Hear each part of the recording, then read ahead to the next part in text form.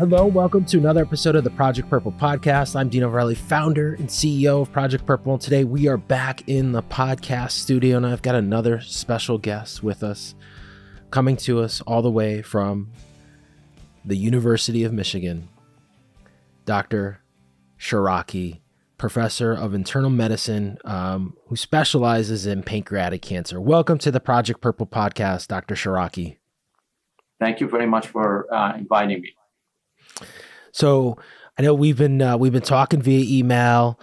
I, I, there's a lot of sayings, and you'll you'll hear this throughout this episode uh, that I'll say that I've said before, but uh, I always say something like full disclosure to our audience. But you know, I, I I got introduced to you because I got a Google alert on a recent publication that was out in Nature Communications that uh, some work, some really fascinating work that you've been doing, um, along with some of your colleagues throughout the country as well, uh, that was out there. And um, I reached out to you, and, and you were gracious enough to find some time here uh, to talk about that and talk about all the work you're doing in the pancreatic cancer space. So uh, it's awesome to have you here on the podcast. And before we get to that, data. And I know for our audience that'll be watching this, we're going to have a PowerPoint. We're going to throw up some slides. You're going to throw up some some slides, and we're going to go over some information. But what is always customary on our podcast is just kind of an introduction for our guests listening and watching is really the background of our guests. And I always tell our guests, and I know I said this uh, offline before we hit record here, uh, this is your opportunity to kind of share your background, how you got involved in the pancreatic cancer space, uh, to give our guests a little bit of feel of, of what you've done and where you've been. And with that, um, I'm going to hand the microphone off to you to kind of share a little bit of your background with our audience. So I'm, I'm a medical oncologist, and uh, back when I did my training here at the University of Michigan in medical oncology, um, and afterward, when where I stayed uh, for two years for as a faculty member before moving to MD Anderson, uh, where I worked there um, for 21 years, both as a physician taking care of gastrointestinal cancer and also as a researcher trying to find better answer for our patients. Uh, from the time I started working with pancreatic cancer, I felt the need to get better treatment and possibly way to prevent this disease because unfortunately this is a disease which has a very poor outcome.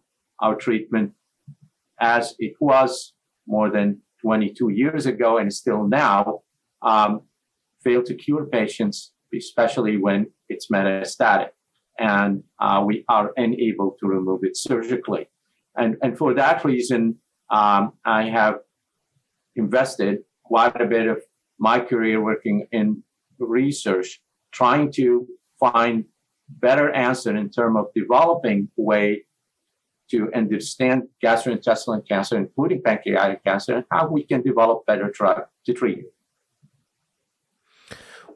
if you look back to when you originally started your career, did you know that when you got into medical oncology that pancreatic cancer was going to be the field that you focused on or was there a patient or I kind of use the term like a tipping point at some point in that you know when you when you began your career that you realized like hey this is really the place where I want to be. So so uh in, in, during my um training, basically, I decided actually to be involved in gastrointestinal cancer, including uh, pancreatic, and also I do a lot of work in colorectal cancer because I felt that the major need in this area where colon cancer is also the number uh, two um, cause of uh, cancer deaths at that time in women and men combined um, and pancreatic cancer, in particularly, uh, I, I, took care of pancreatic cancer here at the University of Michigan.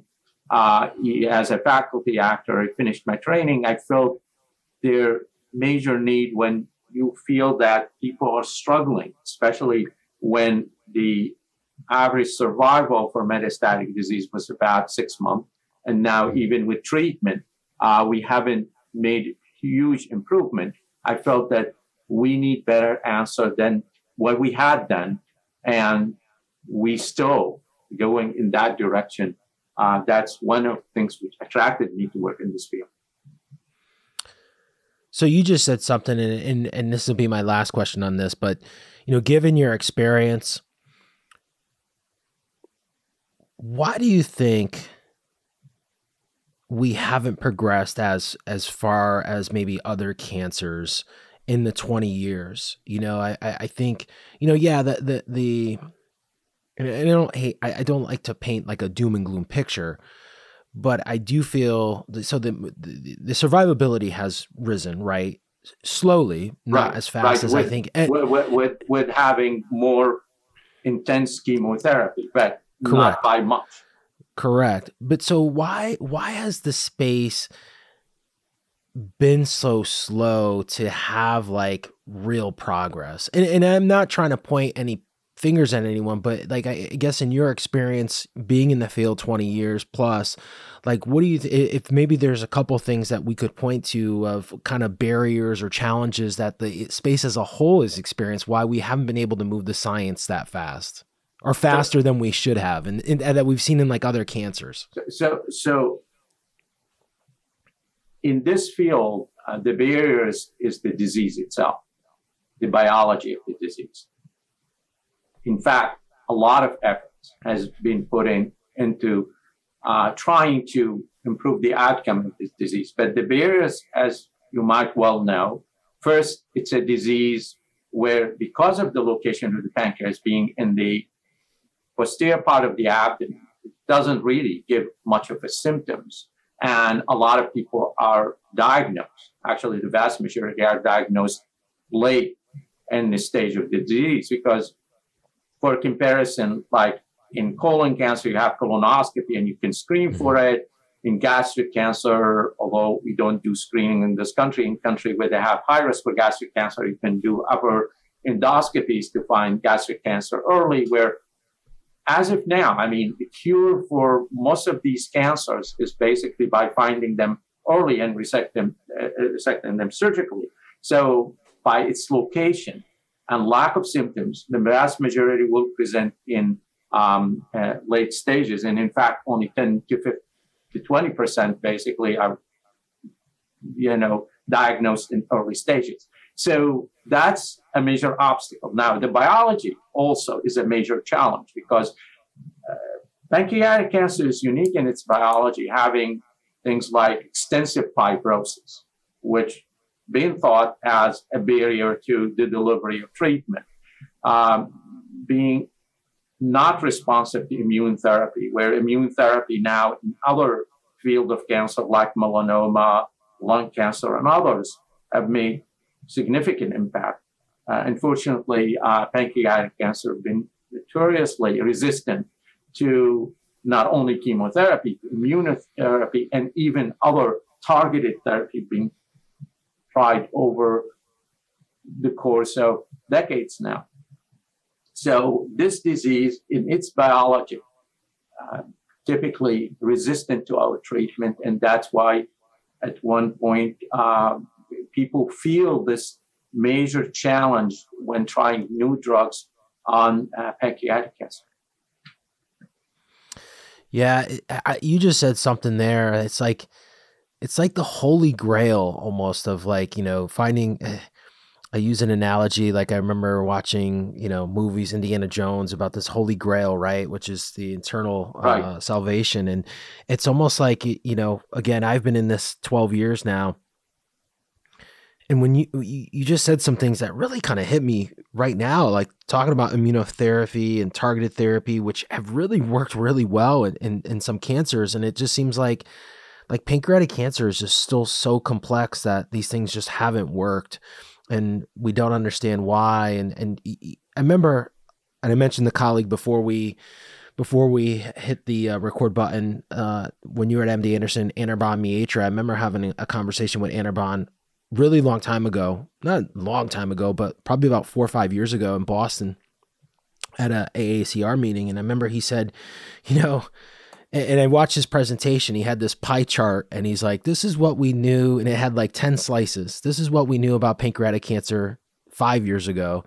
And then the next slide was like, well, this is what we know about it now and it was like into like 30 slices right? The more discoveries that way and i'm probably not, that's probably really crude and rude as i try to explain his pr- presentation but the whole gist of the story is like it, it is such a complex organ and there's still so much discovery to be discovered uh, with this organ and and how this disease is and it, it, it's I, I guess from a an, uh, an awareness factor or from an advocate standpoint it's frustrating. I know there's so many people working in the space.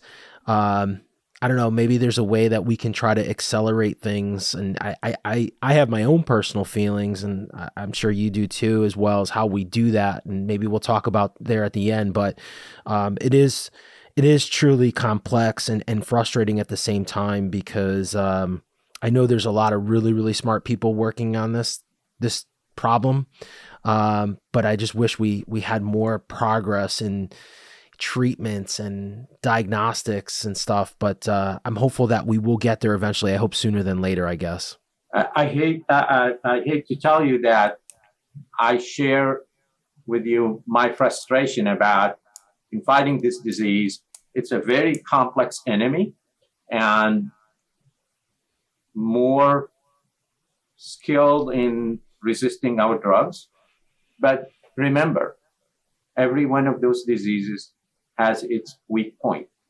Mm-hmm. And melanoma at one point, and not long time ago, uh, was thought to be basically resistant to chemo. We had no treatment, very short survival.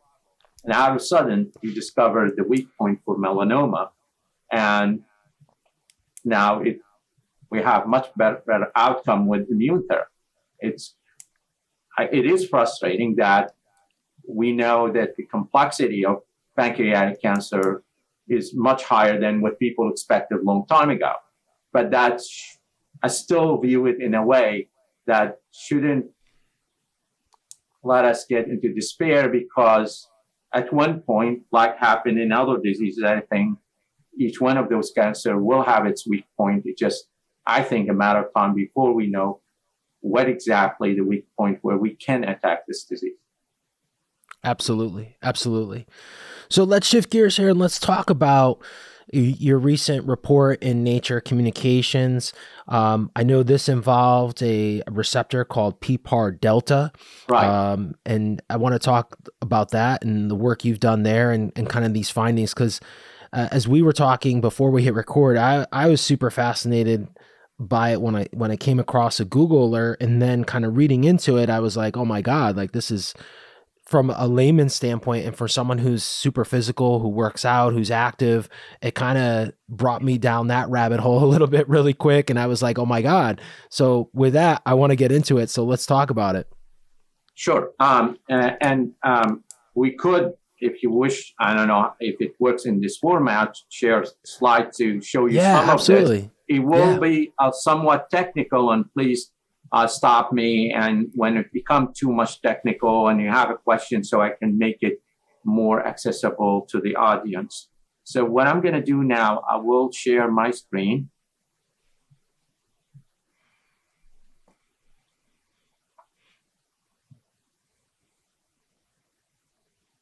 So, what I would like first to go back to the point where uh, to show that why this disease is more and more important to find an answer and find better treatment for it. Because unfortunately, what you can see in this um, graph from data reported by the uh, SEERS, which uh, basically reflect what goes on in terms of this disease incidence and mortality in this country, you can see over the last approximately two decades, there have been steady rise of the incidence of this disease, uh, where it rises by one one percent every year.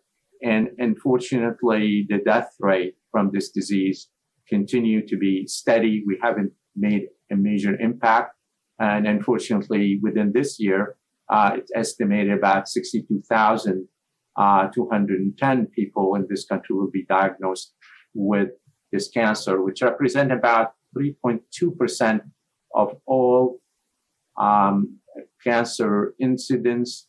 Um, about, unfortunately, close to 50,000 will die of this disease, and that will represent 8.2% um, of the mortality. So, although the incidence is lower than other cancer, the mortality is higher.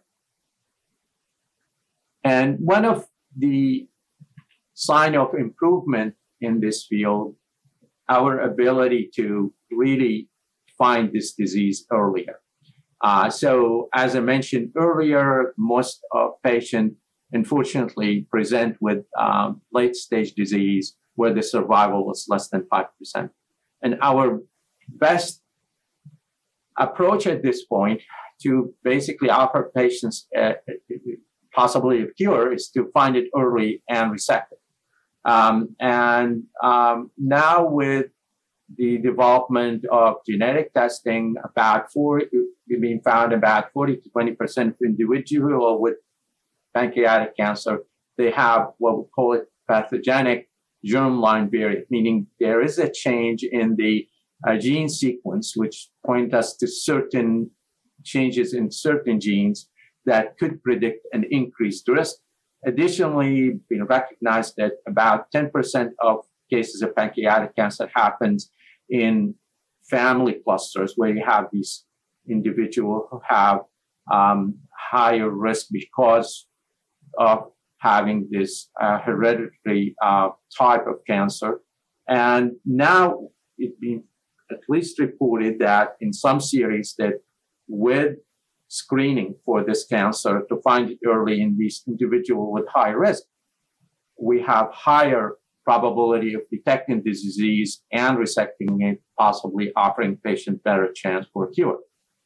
So to go back what, to, uh, to PPAR delta. So PPAR delta is a, is a protein which resides in the nucleus and basically work as a receptor, as a sensor, which take the signal from what we eat or other uh, events which happen within our body and then act on it to change the transcription or the production of protein within the cell, and in a sense, changing the machinery of the cells to respond to this signal. And PPAR delta does carry on important function in, in, in cells. To give you an example, in the muscle, uh, PPAR delta, it can sense our need to produce energy like when we run or exercise uh, and to burn fat, uh, which the major source of energy stored in the body. As I mentioned in our discussion uh, before we started uh, this um, presentation, uh, when we chatted, that most of all we store fat in the uh, energy in the body in the form of fat.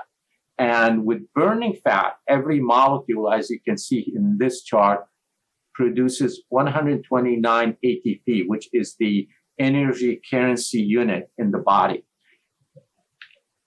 In comparison, when you burn a molecule of sugar, you only produce 32 ATP using the same uh, unit. So burning fat is a more efficient way. And in, in, in, in fact, in the muscle, uh, there are two type of fibers.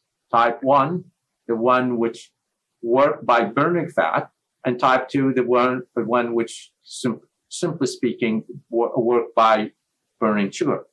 And people who exercise regularly and become adapted to tolerate uh, and endure exercises, they enrich their muscle with the type one. And therefore, people who can run a marathon can last longer than people who are not conditioned where their muscle have less of these fibers because they can burn fat unlike sugar which we have very little storage of and besides as i showed uh, fat burning produce more energy now we have can i jump in here for Go, go. So sure. I, I, just want to jump in here. If you go back, to, so it's it's it's interesting because we and I just want to relate this to like the the type of muscle fibers and and where this comes in because I know for us, we do a lot of running, right? But we also do a lot of fitness, and there's different, you know, runners tend to have more of the slow twitch uh, because it's more of an endurance game.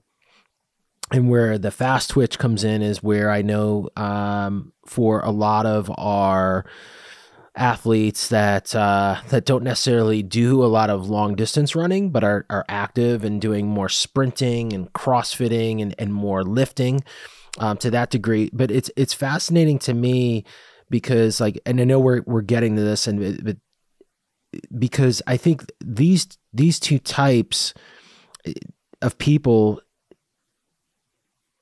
I guess I could say from my my sense, my point of view, eat differently and they they I think they use different types of nutrition uh, when they do that. So it's fascinating to see here, like the previous screen where you showed like you know fat is more of the the the uh, the monetary supply in terms of the, supplying the energy to the muscle than sugar or uh, the other option that was there. So I just wanted to jump in here and mention that because I, I that's really compelling to me.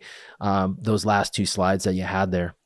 And, and, and, and again, I, I guess it, it, goes back to the point that people who exercise uh, tend to be able to utilize the fat, and that's why you know they don't have a lot of the storage left. Uh, and versus people who less active, even burning fat become an issue because you need like an agent like here, PPAR delta, to activate this process and help you utilize the storage versus the storage being left and utilized. So yeah. uh, we have the capability now with the advancement of the research tool to really try to model in the mouse what will happen if we to change the function of genes by doing a, a model where we call them transgenic model where you can put a gene within the cell, enrich it with the gene, and see what how this gene function. And an experiment that have been done like this one I'm showing here, where if you to overexpress, meaning to make the cell make more of this PPAR delta, uh, you can enrich these. Uh, it's called uh, here TG, which stand for transgenic mice with PPAR delta. They become enriched with this type 1 fibers, and therefore they could tolerate um, a, a, a exercise much better than the wild type mice. This is uh, just by changing the expression of this gene that you could achieve this goal without basically training these mice. Um, and, and the other factor about this protein or gene, when it functions, it requires binding to ligand, meaning there are substances bind to this gene to activate it, is like as I mentioned, it's a sensor. Until it gets a signal, it will not initiate process, just simplistic speaking. And there are substances which activate the gene, like the fat we eat, certain type of fat, like palmitic acid, linoleic acid. They do activate this gene, so it can help when it's sensed to activate this process like burning fat.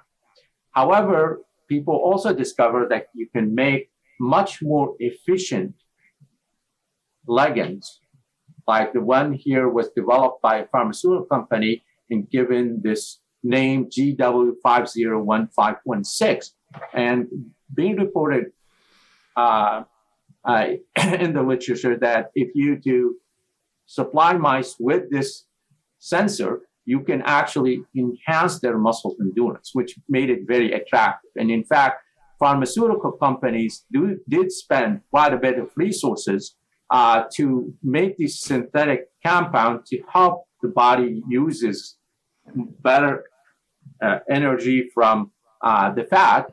Um, however, in, in using it in this approach um, and reporting on it, the public media became aware of this, and then you start seeing these reports in the public media saying exercise in a, in a pill, meaning now we have a pill like in this report uh, by Reuters about um, you know how you can use this synthetic ligands for PPAR delta to enhance muscle endurance. In in back, uh, this is in 2008. Uh, after this report was published, you can see uh, even in uh, other uh, public uh, media outlet was the same, um, you know, prediction. Maybe we're going to have ability to build our muscle endurance just by taking pill, not by exercise.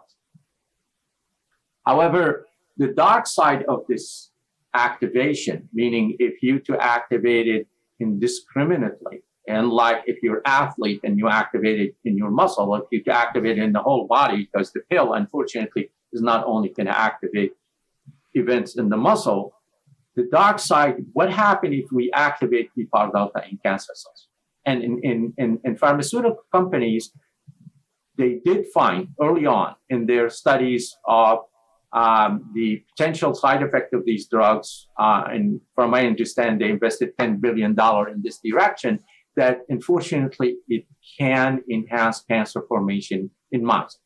And, and, and there were studies like this study published uh, in, from um, Dr. Bill Augustine lab in, at Hopkins. He's been actually a pioneer in, in, in reporting on this, uh, that you could see this, this gene called PPAR delta if you to look for its, we call it expression or the, the level of uh, how much the cell contain of the gene, it's higher in cancer samples of patients uh, compared to uh, the normal uh, part of the colon here, comparing colon cancer with the normal. And others did similar studies, like this study reported from Dr. Dubois' laboratory. Uh, and at that time, also they found both in animal model where you give them carcinogen to induce colon cancer or in patients you can see that cancer cells have more PPAR delta.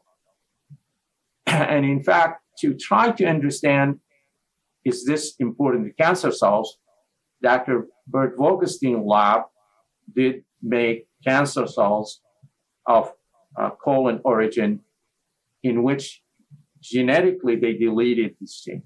And then they tried to inject these cancer cells into the mice and see if they can grow tumor. And you could see the marked difference between the hmm. cells which lost PPAR delta versus the one which maintain its normal levels. And you could see practically these mice fail to develop cancer.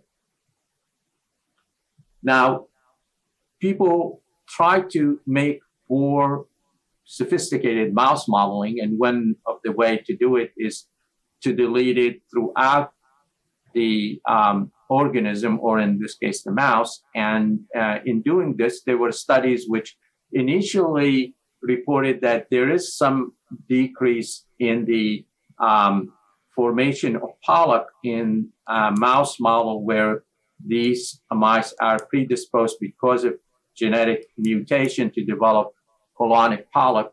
And they did see some decrease, but making these mice was very difficult because these mice, unfortunately, um, if you to delete the PPAR delta throughout the body, it does have um, an, a desired side effect um, where if uh, these mice were growing in the utero or embryonically growing, the placenta formation require this gene. And when you lose this gene in the placenta, you can have great difficulty making these mice. And in this experiment, you will, they only show you three mice, which they tried thousands of mice to make these uh, deletion, um, genetic deletion of these mice. So they couldn't have the statistical um, significant difference to call it. And at that time, it wasn't known. Now, um, Subsequently, there was another study where they took the GW50156, which I mentioned before, and took the same mouse model and they treated them with this compound. And you could see the marked increase of tumor size in the colon in, with this compound, which specifically target this gene. Now, what made this confusing at one phase another group tried to make a mouse model where they decided instead of targeting PPAR delta in the region where we were losing mice in utero and couldn't make mice, why not try a different region where you could have these mice survive and maybe not so crucial to the effect uh, uh, on this gene. Unfortunately, that resulted in producing the different fact with what seen in other model and in, in fact deletion of PPAR delta in that case uh, made uh, the uh, cancer grow more instead less. Uh, if you expected that promoting cancer. But it also as it protected the placenta from losing function people interpret these experiments to unfortunately not truly affect PPAR delta function. So nobody could really understand how what the contribution of the study. And for this reason, one of and this is part of the work we carried on to answer in the colon cancer. Um, we went on to specifically target PPAR delta in the colon and not in other organs, so you can produce mice to run on experiment. And we gave these mice um, a compound, a carcinogen called azoxymethane, which if you give the my, mouse this compound, on average, a mouse will develop about five to six tumors. And what was really astonishing in that experiment that when I show you a picture here of what typically a mouse, you give them azoxymethane, they will develop five to six tumors, as I'm showing here. However, if you to delete these this gene, PPAR delta, in the colon of this mice, only one out of 10 mice who received the same compound in the same experiment developed one tumor, which was like 98% prevention of development of colon cancer. At that time, we became very concerned about this, and we published the paper in uh, Journal of the National Cancer Institute. Unfortunately, uh, that and others actually published in the same direction that PPAR delta is important to the development of cancers. In, in that case, colon cancer, there was not much of attention paid to in the public media. And to make the matter worse, that while the big pharmaceutical company decided to stop their investment in, in making drug like the GW501516. This formulation became known and started being made by outlet which sold these drugs on the internet. And you could see here a website um, and it has a name Cardine, they gave it, and they sell it to individual to enhance their muscle endurance. And unfortunately, as you can see on this website, and you can even check some of this website now and see that it still has the same language, which says in, in this example, but the drug gained uh, popularity in modern world among athletes for excellent contribution to muscle to enhance endurance strength. Uh, and they, um, they, they describe this drug as um, a chemical that's been developed uh, and it has no um, basically um, risk of side effects. Uh, and that unfortunately was misleading. And it was so much that misleading that a lot of individuals use it to enhance muscle endurance, which prompted the World um, uh, Anti-Doping Agency called WADA to recommend screening for uh, the GW50156 uh, in athlete to make sure, uh, because of their concern that this compound does have uh, serious risk, uh, as you can see, uh, and, says that the development of the drug was withdrawn from research by a pharmaceutical company and terminated when serious toxicity were discovered in preclinical study. Again, going back uh, to 2017, which years after this warning by WADA and others, there was another study which again uh, brought up the idea that PPAR delta promote enhancement of muscle endurance. Um, and soon after that was published, even uh, a public outlet like Nova was again um, promoting the idea, in, in that article, that discovering exercise in a pill. Um, and again, unfortunately, um, this compound continued to be available to be used illicitly. So in, our case, we really uh, concentrated on understanding this further. And, and, and again, in, in this example, we're showing like we did studies like in the colon cancer to show that this uh, gene is expressed more by cancer cells. And as you can see in cancer cells, not only in one compartment, you see it in the normal nucleus, because it's cytoplasm will tell you how much these cells addicted to having this gene uh, level higher. And, and we did studies showing that if we increase the expression of this gene in the colon, how this can make azoxymethane and carcinogen develop more cancers, as you can see here, like every strip represented colon of a mouse, and you can see the difference at different doses of azoxymethane, how the in two type of uh, experiments, we show marked increase of the formation of this tumor, like we shifted the response to this carcinogen. And again, we showed even in the uh, experimental model where people debating whether this is with this uh, APC mutation enhanced or uh, uh, uh block cancer formation, we showed definitely increased the formation and even shorten the life of these mice when you overexpress the gene. And we did a lot of study to try to understand this. And actually, there are other groups like this study from Harvard, which shows again as being censored to the lipid in the colon in enhanced colon cancer.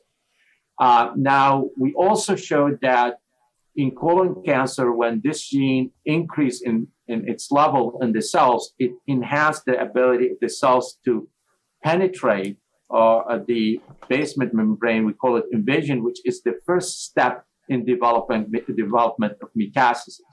And we did other studies to show in different cancers, including in melanoma, here showing that if you to block it, you decrease the risk of metastases. We showed um, the same thing also in gastric cancer by just increasing expression of this gene in the stomach, you, these mice will develop spontaneous invasive gastric cancer. And for us, we became interested in the, um, the pancreas because in back 2006, there was a study published from a, Ger- a German group where they were looking through the gene in terms of what are the hubs or the critical nodes for pancreatic cancer to carry on its activity. And PPAR delta came in and by a screen. Actually, they weren't exactly looking for PPAR delta as an important protein to promote the function of uh, the or to promote progression of pancreatic cancer. And here showing some of their work was showing that PPAR delta as pancreatic cancer progressed through different stages, going to pancreatic cancer, you see more of PPAR delta. And for hmm. PPAR, uh, for pancreatic cancer, what goes on in the disease in terms of development, it goes on in stages from being a normal pancreas, we call them the acinar cells, to development of these pre-neoplastic lesion called Pannins or pancreatic intraepithelial neoplasm, and these progress over time to become pancreatic cancer. Now, the concern people have that as we grow older and we develop mutation, unfortunately, because of exposure to a lot of things in the environment, a lot of us carry these pre-neoplastic lesions. To give you an example, about maybe 50% of people over the age of 40 to 50 harbor these lesions. Now, luckily, most of these lesions will stay dormant and not progress to pancreatic cancer, only a few percentage. However, the important thing we would wanted to know why some do develop pancreatic cancer and others don't, because that's an important factor to know how to prevent this disease. And in animal model, it's been shown that if you feed the animals high fat diet, you can actually increase the risk of progression of PANNs to uh, pancreatic cancer. And given that high fat diet has fatty acid, which work as a signal to PPAR delta, we were interested to know what happened in these perineoplastic lesion to um, PPAR delta expression. And what we found in studies we did in these PANNs that they do have increased expression of the PPAR delta. So it's sitting there and basically it can be activated with the diet or the drug, which I mentioned, to possibly promote pancreatic cancer. And that's what we tested actually in this model we tried to make. So both in uh, the humans, we can see that PPAR delta, here shown in this brown color, increases expression in PANNs and later on in pancreatic cancer like being reported previously. What we also noticed that if you to take a mouse model, which very much it developed uh, pancreatic pannins because they have a mutation in the KRAS in the pancreas, similar to what happened in human pannins, which they have the same mutation, that they do have higher level of PPAR delta expression as shown here in the red color. Now, what we wanted to know is if we to alter the level of PPAR delta in these mice by using genetic deletion, meaning we can go specifically cancers to the pancreatic cells and stop the production of PPAR delta.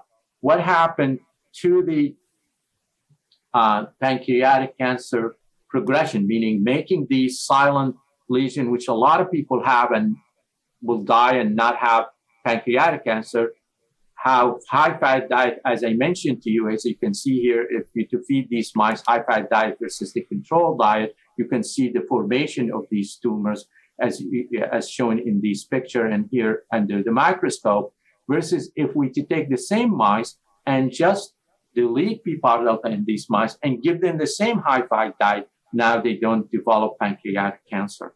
And, and, and for us, that was a really a good signal that this gene is critical to events like high fat diet, which is known as a risk for pancreatic cancer, to turn these uh, perineoplastic lesions to um, uh, pancreatic cancer.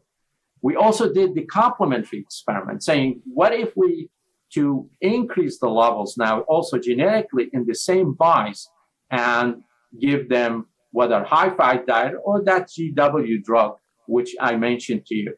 And with high fat diet, you could see in the mice where we increased the expression level or the level of PPAR delta in the pancreatic cells, we have uh, transgenic methods where we can specifically target the pancreatic cells. And you can see the marked increase of the tumor in, in these mice. And, um, and, and, and, in fact, uh, this is with high fat diet. And what was more alarming is when we use the GW, which is more specific and more uh, uh and act in much intense way in activating um, PPAR delta. In these mice, in fact, when we take mice with these preneoplastic lesion, the development of pancreatic cancer, it didn't take typically weeks what we see with high fat diet. In fact, in within nine days, we were seeing pancreatic cancer in these mice, which tells you how much activating this gene can be um, important to the promotion of pancreatic cancer from the pannins. And, and, and indeed, within 30 days, all these mice with increased level of PPAR delta and where they were fed this GW uh, in the diet, they were all dead within 30 days. Well, in the same experiment, you can see the mice which didn't receive the GW um, and, and, and didn't have this increased PPAR delta level, which we did genetically, they went on to live a normal lifespan of 120 days and uh, as long as this experiment took, and having even the same the pre-neoplastic lesion. So what we learned from this experiment that if you to activate this gene, which increases in level in this pre-neoplastic lesion, in fact, you could accelerate the progression of these panins to become pancreatic cancer. And to us, that opened the door for A, thinking about people who might have these preneoplastic lesions, whether because of age or hereditary predisposition or etc., whether we they should be consuming high fight diet. They should be exposed to drug like GW. Um, now, the other side of um, the coin is that there are drugs which inhibit PPAR delta, which one can develop and possibly stop this process from turning into pancreatic cancer. And we're working in that direction. Um, so I think for us, uh, we were very um, surprised how profound the effect of PPAR delta in, in this instance. So I will stop here. I know said a lot of technical things. if you have a question, I'll be happy to answer. Well, I, I, I had a couple, I, I've been taking notes and I, I wanted to jump in, but we were on a roll and, and your slides were awesome because you, you told the story perfectly where this started and, and where it relates to pancreatic cancer. So thank you for doing that so eloquently. So, and, and I want to try to like use an analogy here. If we think about PPAR delta is this antagonist that we see in early onset and then we see in late onset at a, at a pretty big amount. So if, and I've heard this analogy before, if, um, let's say PPAR delta is the Uber that's delivering the food to the cancer to allow it to grow and to get bigger and to get stronger. If we take the Uber out, then the cancer doesn't have the ability to grow and get stronger and metastasize.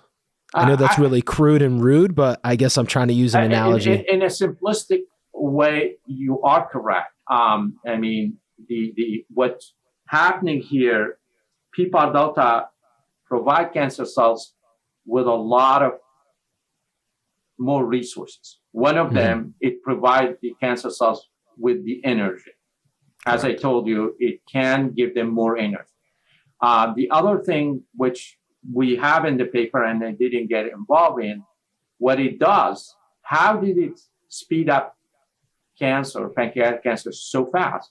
It was, as we published in the paper, and it didn't um, go into the detail, it changed the immune microenvironment. Um, a lot of us, at least thinking again about this, why do we develop cancer? Why do we go from having all these pre-neoplastic, precancerous lesion, which the body can control and stop it from becoming a cancer, and then out of sudden they become frank cancer, and and and, and we see it. A lot of what goes on is the ability of the immune system to control and eliminate cancer cells. And what we were surprised in these mouse models that by activating PPAR delta, we get like within three days an influx of certain cells. Not all immune cells are healthy. There are cells, we call them immune suppressive cells. Um, these cells suppress the other immune cells from attacking the tumor cells. And the influx of these suppressive immune cells, um, especially in our case, seeing cells, we call them tumor associated macrophages, and there are myeloid deprived suppressive cells. There was a huge influx actually, I can show you in this picture. Uh, um, and I guess we uh, we stopped sharing, but I, I, can go to the last picture we, we left at, and you could see the difference between the picture here shows the mice which had the genetic mutation and pre-neoplastic lesion, and we call them here KC, and mm-hmm. at three and nine days uh, on a diet uh, which basically um, it, it, it, without the GW diet, and even with it, uh, without the PPAR delta, not, nothing much going on. But with the PPAR delta and the GW diet to activate it, within three days, you could see this influx of all these cells and even the fibrotic cells and the immune suppressive cells quickly. And this is like protecting these cancer cells if they decide to progress. And then within the span of nine days, it's like created this perfect environment for them to grow and become cancer cells. And, and, and for that reason, uh, like you said, it's an agent which facilitating the development of cancer cells uh, and the progression of pancreatic cancer. So fascinating. So I, have got a couple questions left here, but two that popped up, and, uh, and I'll ask your opinion on this. I heard diet. We heard diet quite a bit. We know that diet does uh, obesity, at least people with with certain diets, people with certain body weights, that that impacts. And I'm talking about pancreatic cancer as a whole, right? So here's the question because and and, and I want to say something like we can't PPAR delta is in us, right? Like you can't eliminate PPAR delta because it does have a significance in muscles and activity and stuff. So I guess there's probably people listening going, well, let's just take out PPAR delta, right? Like that's a I think layman, you know, people sometimes will say like we hear this all the time, well, why do you need your pancreas? Just take it out. You know, if you're high risk, just take it out, right? Like and that that there's all sorts of issues that happen. So so the solution isn't to eliminate PPAR delta then or here's my question is the solution and this is at a, at a very high level. Do you think there needs to be a change in what we eat in terms of diet? Or is there do we need to find a solution to change this PPAR delta? So so we need to do both. So one in terms of the diet the statistics basically and there are studies shows that higher body mass index or BMI, mm-hmm. high fat diet, and obesity promote pancreatic cancer. Uh, even there are human studies besides the animal studies. Correct. So we need to re- really opt for healthier diet with less fat, especially the one which like palmitic acid, which activates PPAR mm-hmm. at least. Um, so more balanced diet is very important exercise is also important because, again, with providing the ligand to activate this, because these lesions, like the tannins, they are sitting in the pancreas, and people walk around, and yeah. luckily, very few of them develop into cancer. Uh, but they is like you have these target waiting to sense the ligand and then mm-hmm. start doing different things. So for now, I think having a healthy body mass index, uh, healthy diet is very important. Exercises are very important. That's one thing we can work on now. The other thing which I want to emphasize, especially for young people who are using these compounds like cardene or GW. Correct. Please, this is not only the mouse model in the pancreas. I showed the data with the gastric cancer and we have data with, with the colon cancer.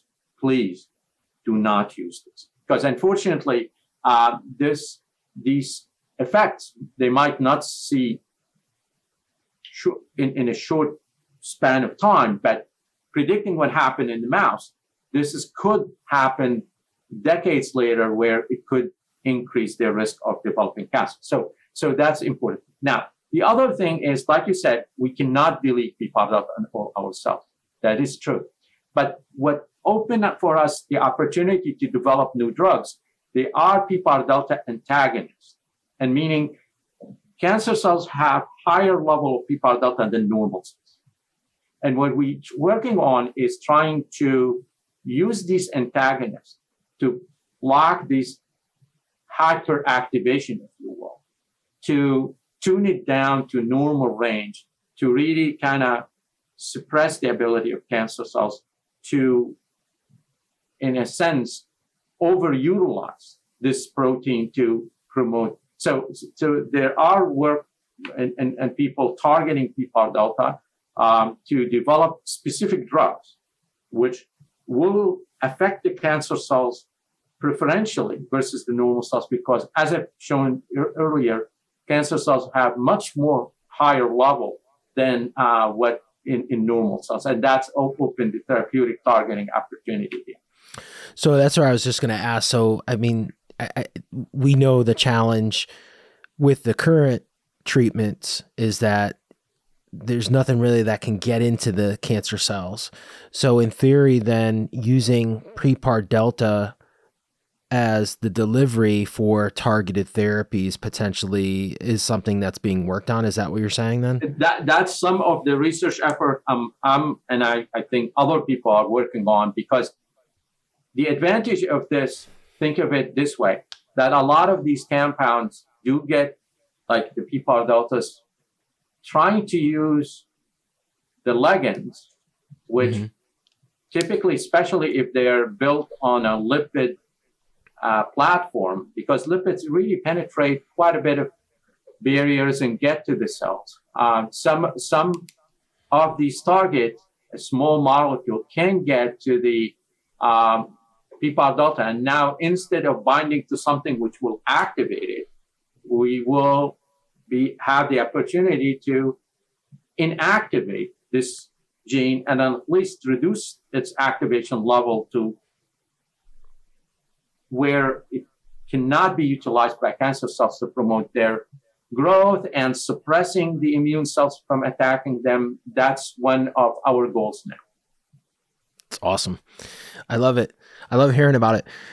So I got three questions left. And my first one is so with this data that you guys have uh, analyzed and all this that this this paper that came out where do you go from now i'm sure someone uh, listening watching is thinking okay so so uh, what, what I have I'm, a loved one. How do I get in? How do I get into the clinical trial? Right. So, no, what's so, the next steps so here? We're trying to develop newer drugs. We're asking the National Cancer Institute for funding. Uh, we've been approaching other funding agencies to develop newer drugs. Um, there is uh, initiative I'm trying to work on here at the University of Michigan to develop this further. Uh, as of now, um, unfortunately, uh, we will need more time to develop these drugs in the um, testing, preclinical testing, to become available to patients. So, unfortunately, we don't have drugs available, and we need to test this in the animal model to make sure it works as we hope for uh, before we get it to clinical trial. Um, but for now, again, uh, like I said, there are, and also we approaching the aspect of prevention in terms of diet and exercise. But mm-hmm uh, uh, unfortunately, it's not available for clinical trials as of now. And I'm hoping with the NIH funding, we've been uh, repeatedly going through cycles and cycles for funding. Um, and I hope they'll give us the chance. I hope so too. Which leads me into this next question. And I go back to your experience, the time you spent in this we just you we you just mentioned you know going to NIH trying to get further funding the process you know cancer uh, or going from you know uh, mouse models now so, going so, to so, drug development. So to give you an example, one of things like we've been submitting this grant for further work as we've been doing this, and we've been trying to kind of find little fundings here and there to carry all this work. And mm-hmm. you go through cycles where people say, well, the data is so impressive. Why don't you publish it? And, and, and, and, and when we respond to them, yes, we're going to publish it, but we want to go further. So we're waiting for this and we're hopeful. Uh, but um, there are resources which we're trying to get more of it to invest in this direction. So where does this space, and this is my question, and we may have answered some of it here, but where do you think the space can do better to get better outcomes? I, I think um, several things I learned from this experience. Uh, one of them, actually, we need to be to have more public awareness. Uh, to give you an example from the presentation I've made, there are prominent scientists, including people in the field like uh, Dr. Bert Vogelstein, Roy, mm-hmm. Uh, Raymond Du Bois, and others, which we've been publishing data to say that activation in PPAR delta and PPAR delta promote cancer and metastases.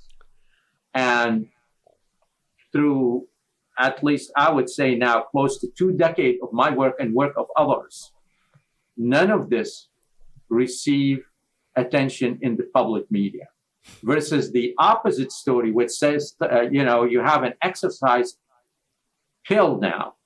Mm-hmm. Repeatedly, they receive. So I would like to have a more balanced presentation of the scientific data. And thank you being allowing us to really share this with the public to say the story has two sides.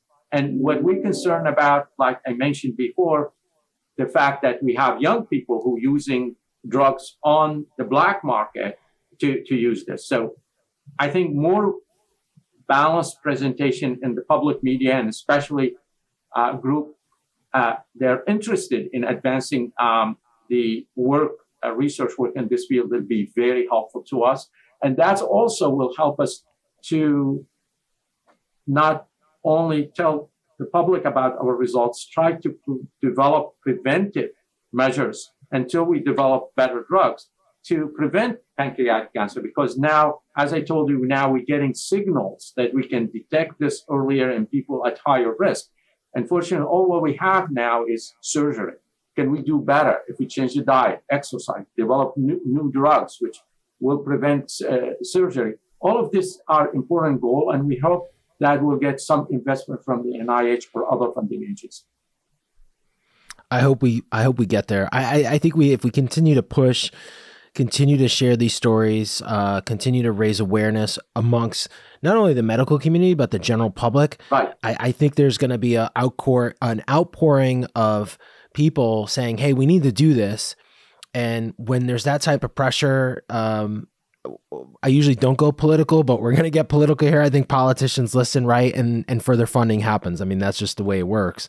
Uh, but I think we we've got to get to that point, right? We've got to get the awareness, and we've got to get stories like this out there. That this thing, you know, this is this is a, a major development. Now we've got to take it to that next level, but we need money to do that. Right. Um, and, and, we, and the other thing keep... with this awareness, also, we're not only pushing for more funding, we educating the public about correct what could certain gene do and what could some of the misadvertised compound which being sold could do yeah. to make an the awareness harms. that you know we could be increasing the risk of cancer by doing certain interventions absolutely absolutely uh, it's great stuff uh, and, and, this was awesome my last question here and then we're going to share um, if our audience wants to connect with you where the best place would be but this is a uh, I, I always save this for the last question for all our guests. And and given your experience, what you've done in your lifetime here, there's no right or wrong to this answer, but how do you define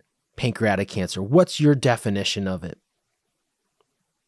It's a very formidable foe. Um, I still recall the patient I lost to pancreatic cancer. Um, but the best way to defeat your foe is to know the most important the most information you can collect to know their weak point and use it. Awesome. If our audience wants to learn more about your research maybe there's another group listening they want to maybe fund your research where's the best place for people to connect with you so, so uh, I, I, think we we do have, and after the publication, um, the Rogel Cancer Center, where I'm currently work, working at, the University of Michigan, did have a, um, uh, a site where presented the data. So that's one site they can go to. But for me to connect if they have question or can be of help is via my email, which is I Shureiq I S H U R E I Q at umich.edu.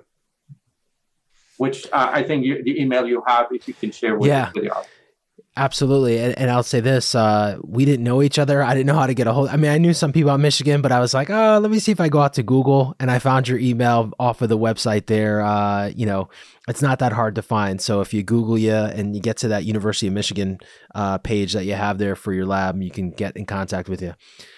Dr. Shureiqi, thank you for all you're doing in the pancreatic cancer space.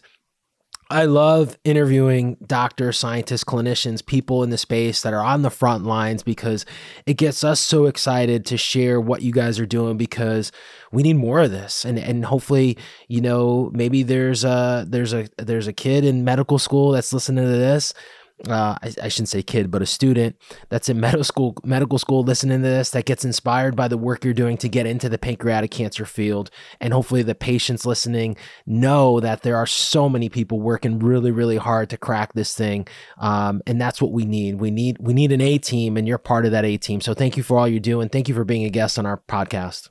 Well, thank you very much for giving us the chance to share the information. It is a worthy cause, and hopefully one day will make a difference. Thank you.